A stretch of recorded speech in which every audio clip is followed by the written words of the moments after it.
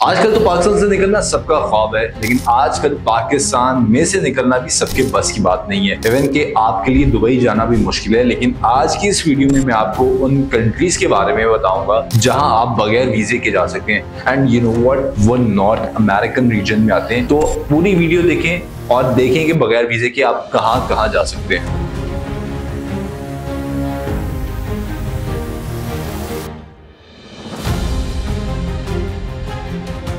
Aslam ji this is me Ibrahim Mehdi from twelfth consultant आपको मैंने कुछ videos पहले बताया था कि पाकिस्तानी पासपोर्ट जो है वो फोर्थ रैंक पे आता है वर्ल्ड पासपोर्ट की लिस्ट में। बट स्टिल पाकिस्तानी पासपोर्ट पे बहुत सारे ऐसे ममालिक हैं जहाँ आप वीज़ा ऑन अराइवल या वीज़ा फ्री जा सकते हैं। और उनमें से कुछ कंट्रीज़ ऐसे हैं जो नॉर्थ अमेरिकन रीजन में आते हैं। ऑब्वियसली आप अमेरिका नहीं जा सकते। यूएसए का प्रोसेस बहुत मुश्किल है। But still they are some countries six countries आते हैं नॉर्थ अमेरिकन रीजन में। वो कौन कौन से कंट्रीज़ हैं, वो मैं आपको बताऊँगा। उधर की करेंसी क्या है, उधर की जॉब अपॉर्चुनिटीज़ क्या है। इंडस्ट्री कौन कौन सी लगती है और उधर की पॉपुलरिटी के रीजन क्या है, ये सब हम डिस्कस करेंगे आज की वीडियो में। उन कंट्रीज़ में सबसे पहले आता है? डोमेनिका उसके बाद आता है बारबाडोस फिर आपको मिलता है हेटी फिर सेंट विंस्टन एंड ग्रैंडिनीज फिर मॉन्स्ट्रेट और फिर ट्रिनिडाड एंड टोबैको ये छह ममालिक हैं जो नॉर्थ अमेरिका में आते हैं। अब इनके बारे में मैं आपको वन बाय वन बता दूँ कि कौन सा कंट्री जो है, आपको कितने दिनों के लिए वीज़ा इशू करता है और वहाँ जाके आप क्या क्या एक्टिविटी परफॉर्म कर सकते हैं। सो जी फ़र्स्ट हम बात करेंगे डोमेनिका की, जहाँ पे आपको छह माह तक का वीज़ा मिल सकता है। If you have Pakistani passport आप बगैर वीजे के वहाँ पे जा सकते हैं। इसको जो कॉन्टिनेंट लगता है, जिस कॉन्टिनेंट में ये मुल्क मौजूद है, वो है नॉर्थ अमेरिका और इसका रीजन है कैरेबियन अब मैं आपको कुछ रीजन दूँगा कि आपको इधर क्यों जाना चाहिए या क्यों आपको यहाँ पे विज़िट करना चाहिए। अगर तो आप इको सिस्टम इको टूरिज़्म को करना चाहते हैं तो ये एक बड़ी आइडियल स्पोर्ट है। उसके बाद हाइकिंग यूनिक कल्चर आपको यहाँ पे मिलेगा और यहाँ पे एक वर्ल्ड क्लास फेस्टिवल भी होता है, जिसको जाके आप इंजॉय कर सकते हैं। इसकी पॉपुलैरिटी के रीजन जो है, वो कुछ इस तरह के हैं कि यहाँ पे रेन फॉरेस्ट जो है, वो मौजूद है। उसके बाद यहाँ पे बहुत सारे वॉल्केनोज मौजूद हैं। आप में से बहुत से लोग हैं जो स्कूबा डाइविंग के शौकीन होंगे तो बहुत सारे डाइविंग स्पोर्ट्स भी इस कंट्री में मौजूद हैं।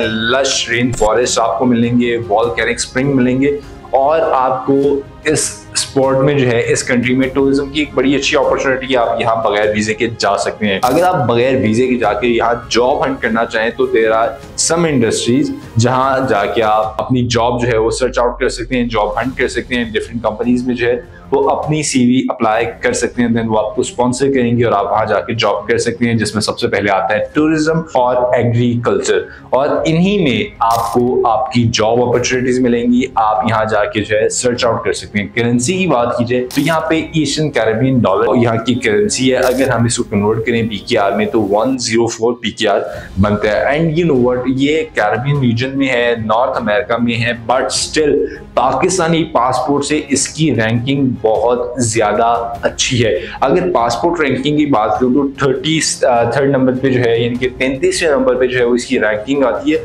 और बगैर, यानी वीज़ा के, आप 145 ममालिक को जो है, वो एक्सेस कर सकते हैं, अगर आपके पास डोमैनिका का पासपोर्ट है। आगे चलते हैं तो आगे मिलेगा आपको बार बार डोज आपको यहाँ पे क्यों जाना चाहिए? क्योंकि यहाँ पे हिस्टोरिकल लैंडस्केप हैं ब्यूटीफुल बीचेस हैं। और आपको बताऊँ कि बहुत सारे लोग शौकीन होते हैं कि किसी दूसरे मुल्क में आए लोगों के कल्चर को जो है स्टडी करें एक्सप्लोर करें हिस्ट्री को स्टडी करें।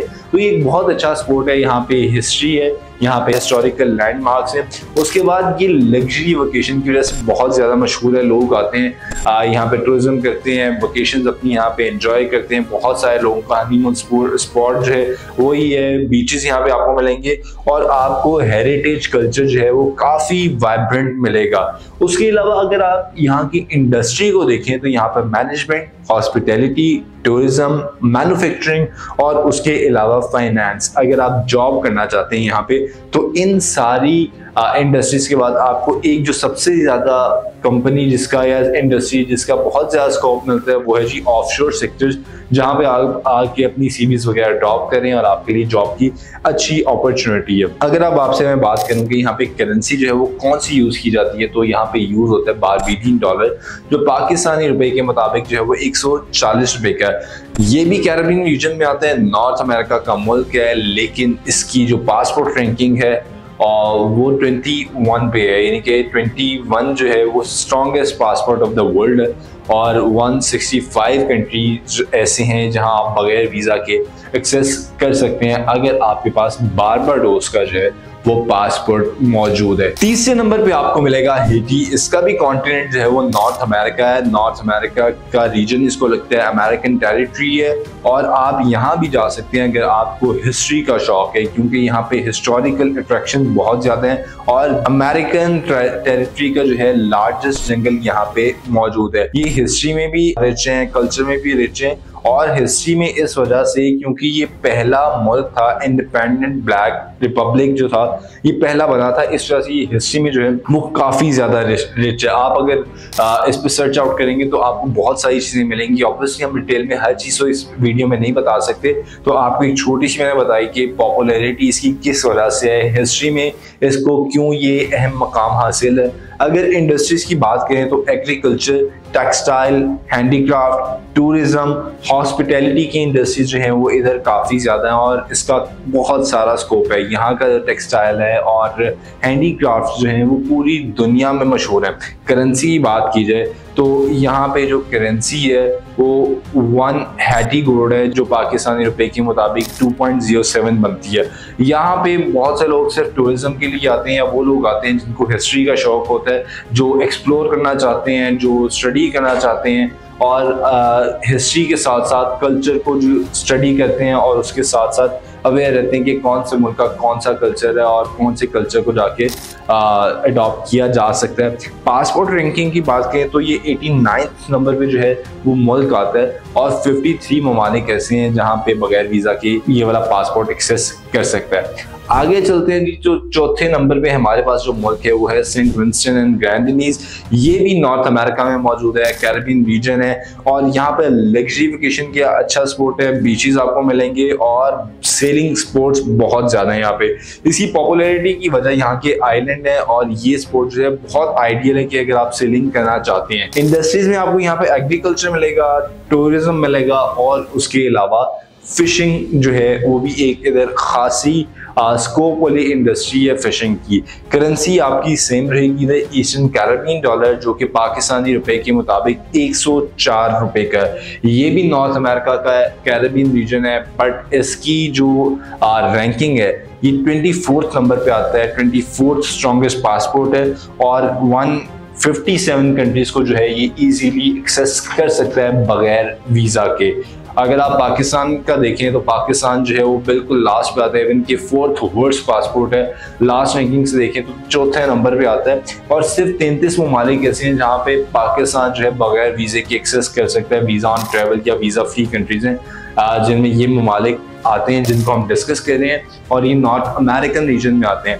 अगला मुल्क जो है वो मॉन्ट है, जो कि इको टूरिज़्म की वजह से बहुत ज़्यादा मशहूर है और वॉलकैनिक एक्सप्लोरेशन की वजह से। अब अगर बात की जाए कि इधर के रीजन है पॉपुलरिटी के तो यहाँ पे आयरिश यानी कि आयरलैंड का जो हेरिटेज है, वो यहाँ पे मौजूद है और काफ़ी रिच हेरिटेज है। इंडस्ट्रीज़ जो आपको मिलेंगी, वो यहाँ पे, वो टूरिज़्म की मिलेगी और एग्रीकल्चर की मिलेगी, लेकिन आपको स्मॉल सेक्टर्स मिलेंगे और जॉब आपको पब्लिक सेक्टर में जो है वो मिल जाएँगी। सेम इधर भी करेंसी है ईस्ट कैरेबियन डॉलर जो पाकिस्तानी एक सौ के बराबर है। तो ये एक ऐसा मुल्क था जो आप बगैर वीजे के एक्सेस कर सकते हैं अगर आपके पास पाकिस्तानी पासपोर्ट है। Last but not the least and Tobago जहाँ पे आप जा सकते हैं, आप बहुत सारे फेस्टिवल जो हैं लाइवली फेस्टिवल जो है, वो एंजॉय कर सकते हैं बीचेस हैं, वो आपको मिलेंगे और बर्ड वॉचिंग अपॉर्चुनिटी मिलेगी। बहुत सारे बर्ड्स ऐसे होंगे जो आपने पहले नहीं देखे होंगे। वहाँ पे बर्ड्स की स्पीशीज जो है, वो बहुत अलग तरह की मौजूद है। वहाँ पे कार्निवल फेस्टिवल होते हैं, वहाँ पे डाइवर्स कल्चर है और इसके अलावा जो है, ये जगह पेट्रोलियम इंडस्ट्री की वजह से बहुत ज़्यादा मशहूर है। यहाँ पे पेट्रोलियम मैन्युफैक्चरिंग और एग्रीकल्चर की इंडस्ट्रीज़ हैं, जहाँ पे इनका स्कोप भी बहुत ज़्यादा है। करेंसी की बात की जाए तो यहाँ की करेंसी टीटीडी है जो एक टीटीडी पाकिस्तानी चालीस रुपए के बराबर है। Still it's in the north American region और कैरेबियन रीजन में आता है, लेकिन इसके पासपोर्ट की रैंकिंग जो है वो पाकिस्तान से बहुत बेहतर नहीं, बल्कि बेहतरीन है। 28 नंबर पे आता है और ये इजीली 152 कंट्रीज़ को जो है वो एक्सेस कर सकता है। ये कुछ लिस्ट थी उन ममालिक की जहाँ पे आप जा सकते हैं बगैर वीज़ा के, जो कि नॉर्थ अमेरिकन रीजन में आते हैं। यूएसए जाना अमेरिका जाना आपके लिए बहुत मुश्किल है। But if you don't have American visa आप इन ममालिक में जा सकते हैं। आपको यहाँ पे ये भी अमेरिकन टेरिटरी है। आप यहाँ जाके कल्चर देख सकते हैं टूरिज़्म देख सकते हैं, अपना वेकेशन जो है यहाँ जाके इंजॉय कर सकते हैं। और हमने हर मुल्क की जो है साथ आपको इंडस्ट्री बताई, ताकि आपको पता चल जाए कि अगर आप वहाँ जाके जॉब करना चाहते हैं तो कौन कौन सी इंडस्ट्री जो है वो आपकी फ़ील्ड से रेलिवेंट है। आप वहाँ जाके अपनी जॉब देख सकते हैं। जॉब अपॉर्चुनिटीज़ आपको मिल सकती है करेंसी आपको इसीलिए लिए बताई कि अगर आप वहाँ जाना चाहते हैं तो जाने से पहले आपके पास जो है कुछ लोकल करेंसी जो है वो मौजूद हो। और ये ये करेंसी थी जो हमने बताई पर्टिकुलर कंट्री की। अगर आप इन ममालिक में जाना चाहते हैं तो आपके पास, आपका वैलिड पासपोर्ट होना चाहिए, आपकी रिटर्न टिकट होनी चाहिए और उसके साथ साथ आपके पास, आपके अकोमोडेशन के प्रूफ होने चाहिए।